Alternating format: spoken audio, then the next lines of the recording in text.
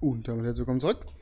Ich habe gerade noch den dritten Part, ne, den zweiten Part geuploadet und mir ist aufgefallen, dass ich bei Regen Probleme mit der Grafik habe. Ingame nicht, nur im Video. Das flackert dann. Das kann ich leider nicht ändern. Oder ich wüsste zumindest nicht wie. Und ich habe gesehen, dass ich äh, links und oben einen Rand habe, den ich auch eigentlich nicht habe. Ich hoffe, er ist jetzt weg. Ich habe jetzt ein bisschen was von dem Bild abgeschnitten. Allerdings müsste dadurch halt diesen Scheiß wechseln. Das ist ganz minimal, was ich abgeschnitten habe. So, gut, dann äh, probieren wir es doch mal aus. Äh, spielen wir weiter. Äh, speichern, ja, ja. Ich glaube, jetzt geht es mich mit Story weiter, deshalb habe ich direkt wieder angemacht. Das, was hier knarzt, ist mein Stuhl. Ich nehme den Part übrigens direkt im Anschluss auf, ne? Also, nicht, dass ihr euch wundert irgendwie. Okay. Von Rachel, Beacon Hill. Hey, ich höre gerade auf den Funk, dass die Straßen nach Beacon Hill jetzt frei sein sollen. Da geht bestimmt bald die ersten Rennen ab. Fahr mal hin und fordere dein Glück heraus. Gut, aber erstmal haben wir hier noch zwei Rennen. Ich glaube, es sind Drifts, richtig? Ja. Ach du. Äh, warte mal. Wir haben jetzt zwei Driftrennen hier. Da unten ist ein Sprint. Rechts sind ein Street X und ein Rundkurs. Mittig ist ein Rundkurs und oben ist ein Sprint und ein Drag. Okay, wir fahren einfach mal zu einem Tuning-Shop, sag ich jetzt mal. Nee, ich will... Ja, ah, okay, X ist, äh... X ist, äh... Scheiß aktivieren. Das Spiel ist bei mir auf dem Ohren übrigens extrem laut. Schon gehört? Der Tunnel nach Beacon Hill ist freigegeben. Solltest du mal vorbeischauen. Bis später. Danke, weiß ich schon, Schlampe.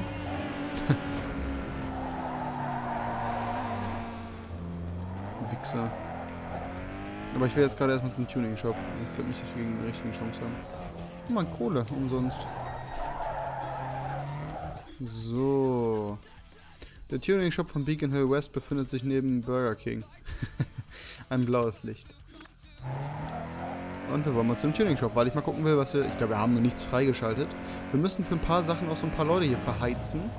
Die, dann schaltet sich manches erst frei. Das heißt, wir machen das mal einen Part lang. Ich würde sagen, den nächsten Part. Dann nehme ich vielleicht sogar noch einen vierten auf. Äh, Megalo, ja. Mach mal. Das ist der Billig-Shop quasi. Also nicht billig, sondern die guten Teile in günstig. Hey, du hast es gefunden. Jetzt weißt du, wo Megalow Parts liegt. Ein Riesensortiment haben die hier zwar nicht, aber für normale Tuning-Teile reicht's. Und es ist immer geöffnet, falls du mal vorbeischauen willst. Sieh dich ruhig um, ob du irgendwas brauchen kannst. Danke, hey, Rachel. Deine Serienteile gegen Nachrüstparts aus, um deinem Wagen mehr Power einzuhauchen. Kaltluftansaugsystem. Fächerkrümmer. Sportnockenwellen und Wellenräder. Und Sportauspuff. Ja, können wir theoretisch alles mal reinwerfen. Das ist das Standardpaket, ne? 20% Rabatt gibt es auf das Standardpaket.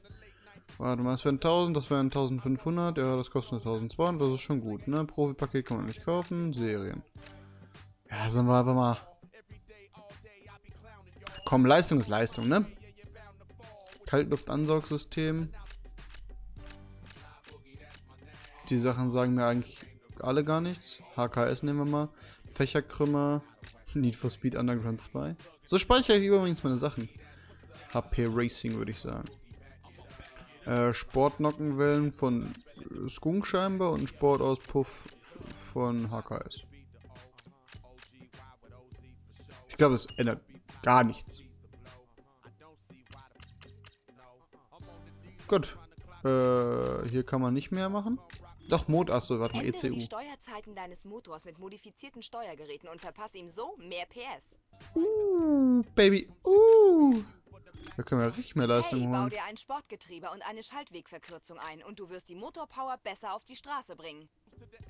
Das bringt nicht so meiner Mit einem Meinung nach. Sportfahrwerk hast du bessere Kontrolle über deinen Wagen und kannst Kurven enger nehmen. Domstrebe ist wie echt, die bringen halt fast nichts. Ja, wir könnten auch noch das Paket einbauen. Nitro die Portion extra Power, die du abrufen kannst, wenn du mehr Speed brauchst. Ach ja, Nitro, weiß ich nicht, du. Brauchen wir eigentlich noch nicht, finde ich. Reifen können wir nicht, Bremsen können wir nicht, Leichtbau können wir nicht, Turbo können wir leider nicht. Okay, ich würde sagen, wir machen noch ECU, weil das richtig Leistung bringt. Das bringt richtig viel Höchstgeschwindigkeit, richtig viel Beschleunigung. Äh, Apex, das sagt mir sogar was. Also nicht Apex Legends, ne? HKS und Apex. Weiter. Schön. Jetzt müsste die Kiste schon ein bisschen besser gehen. Was? Ja, ja. Falls wir mal kein Geld mehr haben, ich kann ja auch mal auf, auf Screen ein bisschen spielen.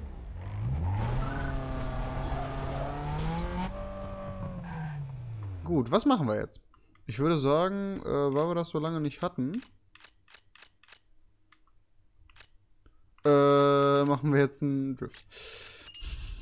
Weil es halt das nächste ist, ne? Äh. Achso, warte, so, ja. Weil es halt das nächste ist. Okay, die Schaltwegsverkürzung wird schon mal ganz schön was bringen. Also der schaltet echt ultra langsam. Rap. Schade, dass es kein Uno in dem Spiel gibt, serienmäßig, weil Zeit würde auch wieder passen. Bremsen sind echt scheiße bei der Kiste. So. 300 gibt's und äh, ja, easy haben wir ja alles mal gesehen. Ich stelle demnächst übrigens mal die Dinge höher. Die KI.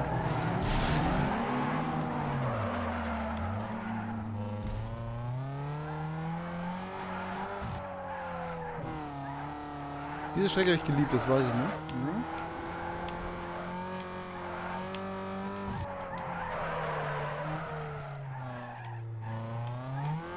Und jetzt schon viermal so viele Punkte wie alle anderen, ey.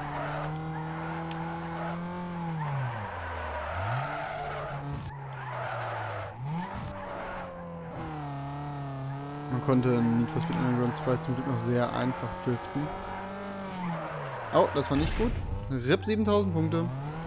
Wir haben dreimal so viele Punkte wie alle anderen. Wir haben, wir haben mehr Punkte als alle zusammen, ne? Also von daher macht man nicht so die Gedanken drüber.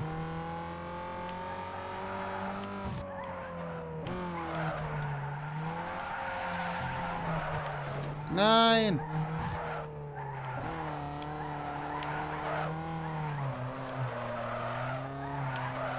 Jetzt haben wir auch mit Leistung, um das hier alles so zu machen, wie ich das gerne würde.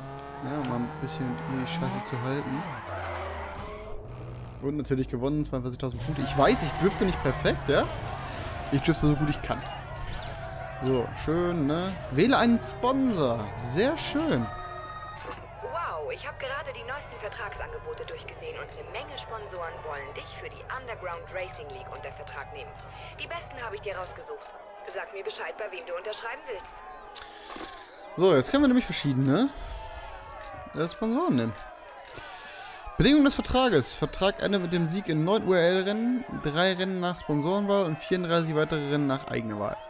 Äh, Werbeverpflichtung, Wagen bauen, der auf 4 DVD-Covern erscheint. Bonus, kostenloser Wagen von Bayview Autohändler. Dafür kriegen wir 1275. Jeder URL-Sieg bringt 1100. Und jedes Sponsorenpreisgeld sind 900. Das verstehe ich nicht. In den geforderten Rennen, glaube ich. Das sind ja nur vier, drei? Drei. Genau. So. Hier haben wir drei URL-Rennen, drei Rennen nach Val Sos, neun eigene. Weitere Anforderungen, Wagen äh, bauen auf einem DVD-Cover und dafür kriegen wir auch einen Wagen.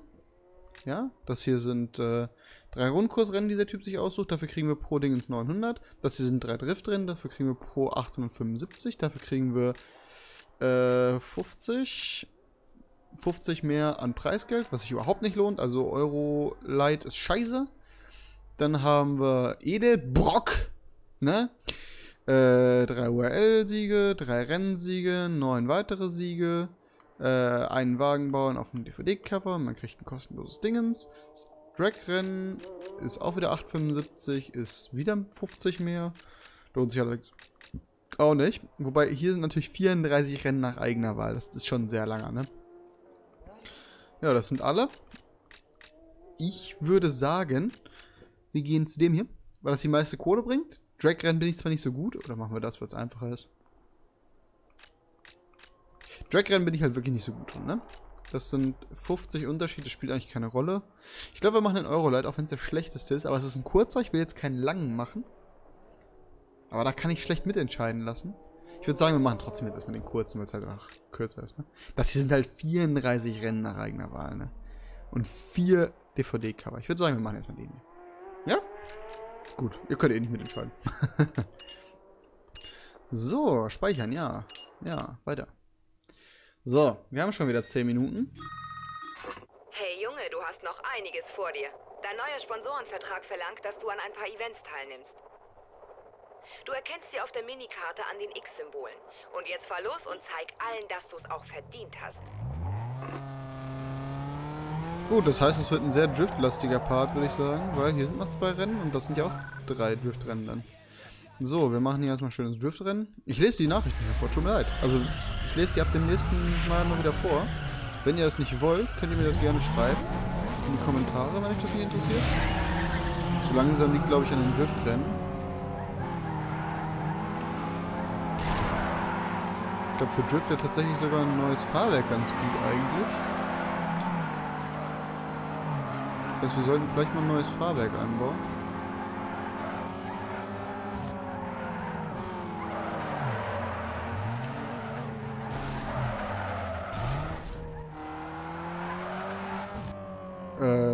Damit wir wieder ein bisschen mehr Kontrolle haben.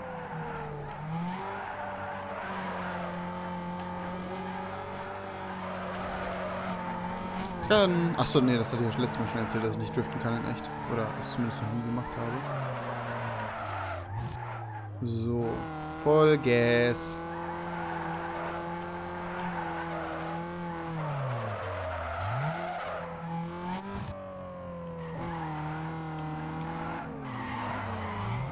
So, schön. 57.000 Punkte. Wobei der andere jetzt mal langsam rankommt, ne? Aber nicht im Leben. Äh, ihr könnt mir auch mal beantworten, ob ich Rennen wiederholen soll, wenn ich sie verkacke. Jetzt 2200. Ähm, ich wollte eigentlich auf diese Taste und mal gucken, ob wir in den Gameplay-Optionen die Schwierigkeit mal höher stellen. Das ist mutig, ich weiß. Wir haben noch kein schweres Rennen gefahren. Aber ich gehe den Weg. Wir fahren das. Also wir fahren heute nur Driftrennen. Sage ich jetzt mal. Wir werden der Drift King. So. Das ist ein Witz, oder? Nie im Leben kann dieser Trümmerhaufen driften. Du fährst ja nicht auf dem Anger spazieren. Hier geht's zum Sache. Zeig, was du drauf hast. Ja, ja, halt den Schnauze, Bruder.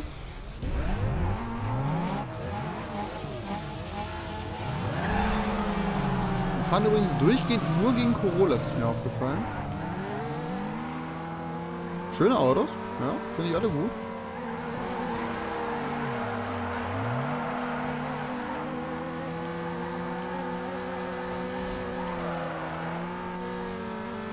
Und wir sind außer Reichweite. Nein! Ah! Das war Klaus. Der Bruder hat uns leider ein bisschen angestoßen gehabt. Ich fahre übrigens fast gar nicht mit... Ah, das wird wieder nichts. Ah, doch. Uh, das war Klaus. Äh, ich fahre übrigens fast gar nicht mit äh, Handbremse. Macht der Wagen alles schon selber hier.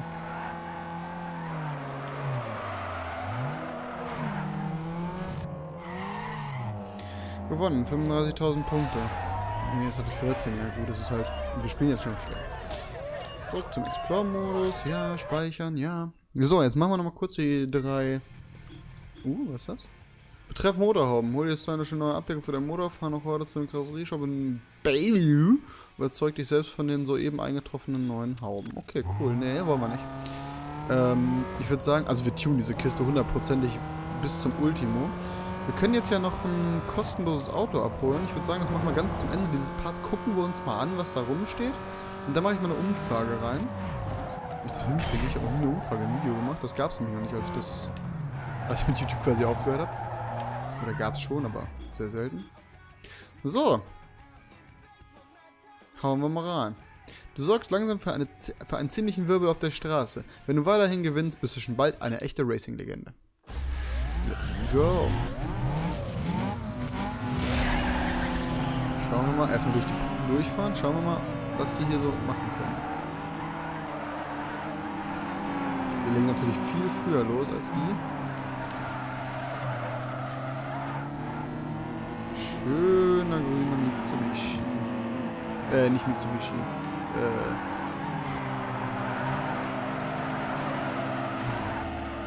Ich komme gerade tatsächlich nicht mehr auf den Namen. Corolla. Das ist Toyota, ne? Ja. Glaube ja. Alden. Äh. Uh, das war Klaus, Alter. Gut, dass wir den vorher abgebrochen haben, ey.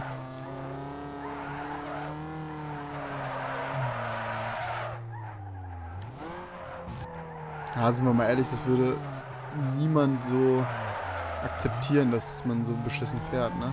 Also es sind keine guten Drifts, es sind halt fürs Spiel gute Drifts. 51.000 Punkte, ey. Ja, ne? Weiter.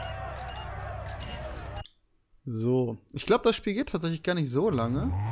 Weil man halt die Sachen relativ schnell durchspielen kann. Wir werden sehen. Pro Part 20 Minuten kann man am Ende ja schön sehen, wie lange das Spiel so geht. Ne? Ich überlege danach, das nächste Need for Speed zu machen. Äh, die Sponsoren wollen Siege, äh, wollen Sieger, mit denen sie ihre Produkte verkaufen und die Kids wollen natürlich dieselben Teile wie die Sieger haben. Willst du heute ein Sieger sein? Nee, ich würde heute gern verlieren, glaube ich. Oh, Mitsubishi Eclipse, glaube ich. Und ein Ford Focus S. Auf jeden Fall Ford Focus. Glaube ich. Bin tatsächlich eigentlich nicht so in der äh, Sparte Autos mit drin. Was äh, Tuning aus der Zeit angeht. Äh, auch so ein Peugeot 106, damit kann ich nichts anfangen. Äh, Nissan 240 SX fand ich immer geil. 350Z finde ich natürlich cooler. Ähm, Supra MK4. Oh, jetzt, jetzt lehne ich mir weit aus dem Fenster. Gab es da den MK4 schon? Glaube, da gab es ja MK4 schon. Ich bin mir nicht sicher. Äh, finde ich tatsächlich nicht so gut wie die meisten. Ich weiß. Shame on me. Also ein Corsa. Ups. Äh, ich bin dumm. Entschuldigung. Kein äh, Mitsubishi Eclipse. Ich bin dumm wie Scheiße. Ähm, lehne ich mich wahrscheinlich weit mit aus dem Fenster, dass ich sage, äh, nee, finde ich nicht so geil. Aber fand ich einfach nicht so geil, wenn ich ehrlich bin. Bin ich kein Fan von gewesen. Weiß nicht. Ich finde den neuen echt gut. Ich weiß, äh, viele nicht. Also sagen wir mal, ich finde den alten okay, aber ich finde sehr viel, wie er gebaut wird, echt hässlich. Ich mag es echt gerne übertrieben, also JDM komplett übertreiben finde ich tatsächlich nicht so gut. Leider, muss ich sagen. GDR, na klar, der muss richtig übertrieben sein, ne? Der braucht eine Frittentheke wie sonst was da hinten drauf. Die muss keinen Sinn machen, die muss nur groß aussehen. Äh. Aber sonst ist das nicht mein Geschmack an Auto, sagen wir so. Ich finde es gut, dass es in diesem Spiel keine Mercedes gibt. es Mercedes? Nicht. Es gibt keine Mercedes gibt. Weil ich bin echt kein Mercedes-Fan. Hier, hier ist übrigens später einer der besten Tuning-Shops, glaube ich. Jetzt musst du zeigen, was du auf dem Kasten hast, Junge. Der Drift steht in deinem Sponsorvertrag. Ein Sieg ist alles, was zählt. Misch die Straße auf. Nee, wir driften in ein Parkhaus, da gibt es eine Straße. Oh, noch ein Peugeot. Genauso einer wie wir ihn haben. Die wird schon ein bisschen aufgemotzt.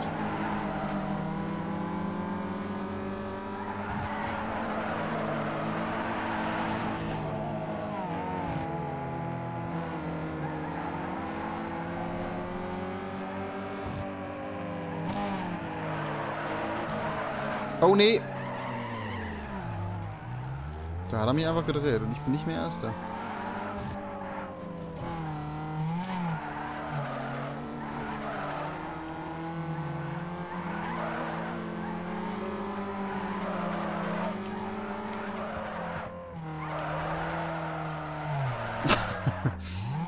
kurz mal 22.000 Punkte zusammengefahren, kurz mal mehr Punkte als der zweite insgesamt hat.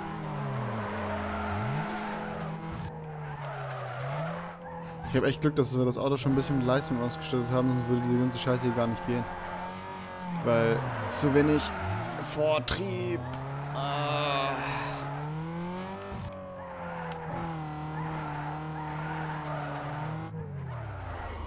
Ich bin nicht der Letzte, ins Ziel kommt, Alter. So, 60.000 Punkte, gewonnenes Geld, mal wieder ein bisschen Kohle. Schön, ja, wundervoll, sehr gut. Raschen wir das zu sehr durch? 5000 Kohlen, Alter. Äh, uh, ja. Äh, 5000 Kohlen. Und ähm, wir gucken jetzt nochmal kurz zum Au-Shop. Ja? Zum Autohändler. Ich nehme wie gesagt noch ein Part auf. Ich verblase gleich mal ein paar, äh, mal ein paar von den Gegnern auf der Karte. Ich glaube, die können aussterben. Also es kann. Es gibt eine Maximalanzahl, wie viel man verblasen kann, glaube ich. Bin mir nicht sicher. Dadurch schaltet man nämlich Teile frei und kriegt Geld. Wobei wir gerade echt viel Geld haben. Ähm,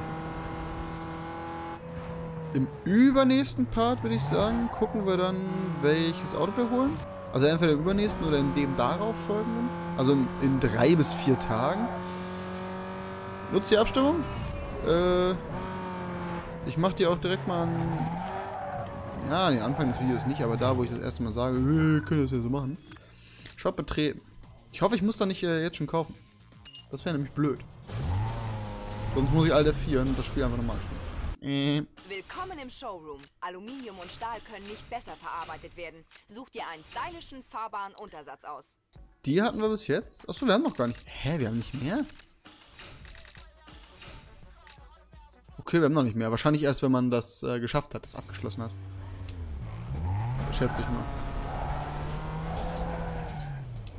Gut, ich weiß tatsächlich nicht mehr, wie man so einen Deal kriegt hier mit äh, aufs Cover kommen. Müssen wir zurücksetzen? Okay. Dann würde ich sagen, gibt es keine Abstimmung, weil wir noch kein neues Auto kaufen können. Dann mache ich aber vielleicht ein Info-I, dass äh, wir noch kein neues Auto kaufen können.